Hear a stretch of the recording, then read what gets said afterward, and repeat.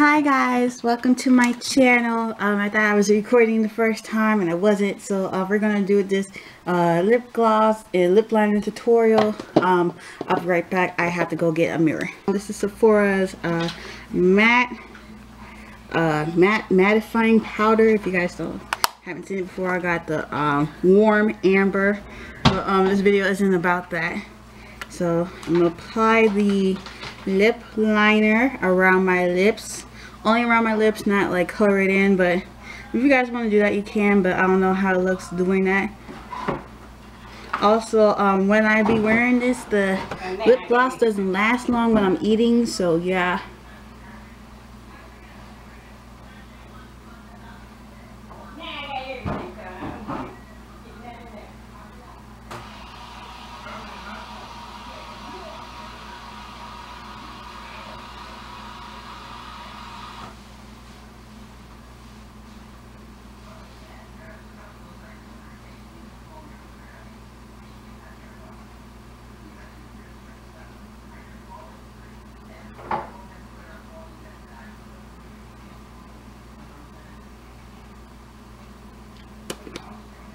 Okay, there's the liner for you guys.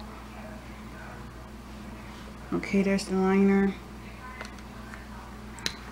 Okay, as, as I said, that's the first step. This is really easy, you know. Sometimes I just be watching you guys, watching some of you beauty gurus on YouTube. I'm not a beauty guru. Um, sometimes all I wear is just lip gloss by itself.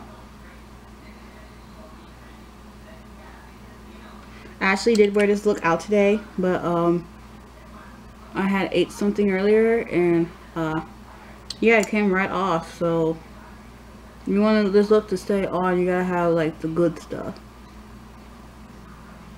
Because this and this together is like like what five dollars?